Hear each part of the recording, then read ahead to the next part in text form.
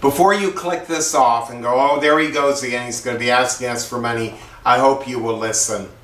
Last year was a very difficult year, the last six months. We had enough of the donations to make our new TV series on the Heart Sutra, and then it hit. Uh, my two computers that I use, one for business and one for uh, video, audio, and editing, passed on. They were nine years old. They served their purpose, and I'm very grateful to them. Uh, but we really need uh, to replace one of them. The first one for the office has been replaced, and we need another one, and we're about $8,000 short on that. And I really need your help if I'm going to be able to make TV programs, radio programs, uh, CDs, meditations. I do it all on this one computer and I need to replace it.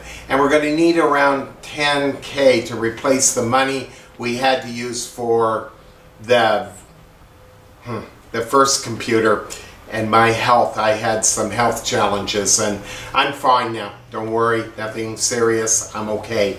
But we really had a fall in income uh, when the fires happened in Northern California and everything because people were giving money to that instead of Aspire, yada, yada, yada. And you know what I'm going to say about that. So please um, help us. I know you're wondering, what will the mystery donor do so I don't have to give as much? He isn't going to be able to help us on this one. Uh, he's going to help us later on in the year, but he can't do it right now. So we're on our own here and I hope that you will make a donation today, a substantial one, uh, to help us uh, get through this very difficult time. I work very hard, as all of you know. I make hospital calls, hospice calls every week. I uh, do a lot of work, as you know, with those who are injured and hurt, uh, my students, uh, meditations. If you knew how long, how hard I work every day, seven days a week, you would probably be surprised.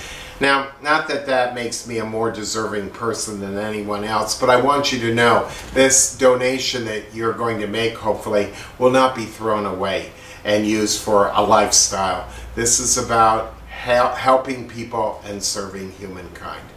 And I hope you'll make your donation right away. The sooner the better so I can get the computer that I need to do the video editing for the programs and also to make the programs. I'm sorry that I have to do this. I really don't like it, but what can I do?